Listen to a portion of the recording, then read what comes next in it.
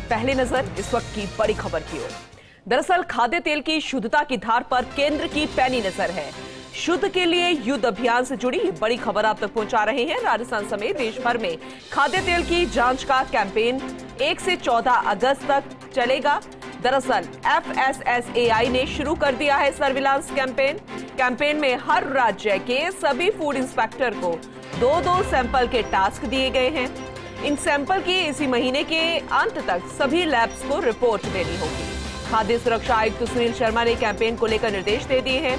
राजस्थान में 14 की बजाय 20 अगस्त को कैंपेन चलाने के निर्देश दिए गए हैं और अभियान के बाद देश भर में खाद्य तेल की गुणवत्ता का एक रिपोर्ट कार्ड जारी होगा। ज़्यादा जानकारी देंगे हमारे सहयोगी विकास शर्मा।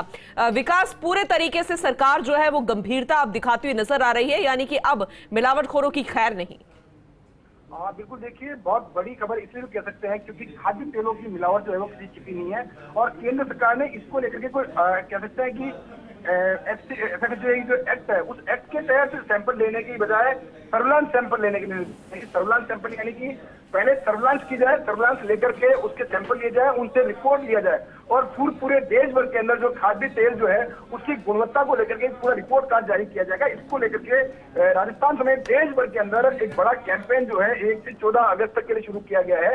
राजस्थान की बात करें तो राजस्थान शुद्ध के लिए युद्ध अभियान के तहत बड़ी कार्रवाई पहले कर रहा है। पहले से बड़ा कैंपेन चला रहा है। इसलिए जो खाद्य आयुक्त है उन्होंने इस अभियान का दायरा एक कदम और आगे बढ़ा करके एक सप्ताह और बढ़ा दिया है। बीस अगस्त तक के लिए ये कैंपेन के जो दायरा है वो बढ़ाया गया है जिसमें कि प्रत्येक फ़ूड इंस्पेक्टर को दो दो सैंपल खाद्य तेल के लेने होंगे और इसी महीने के अंत तक रिपोर्ट भी उनकी एनालिसिस होती है, उसकी रिपोर्ट भी सार्वजनिक जो भी केंद्र को भेजी जाएगी और केंद्र के स्तर पर इन सभी रिपोर्ट के आधार पर सैंपलों की जाँच रिपोर्ट के आधार पर एक डेटा जारी किया जाएगा कि जो लोग आम जन जो खाद्य तेल खा रहे हैं उसकी गुणवत्ता क्या है किस तरह के बाज़ार के अंदर तेल मिल रहे हैं और उनकी गुणवत्ता और उनके सेहत पर उनका क्या असर पड़ रहा है। तो एक बड़ा विस्तृत अभियान जो है विस्तृत कैंपेन जो है बिल्कुल और ये अभियान अगर सफल होगा तो वाकई में बड़ी उपलब्धि सरकार के नाम होगी। बहुत बहुत शुक्रिया तमाम जानकारी देने के लिए विकास।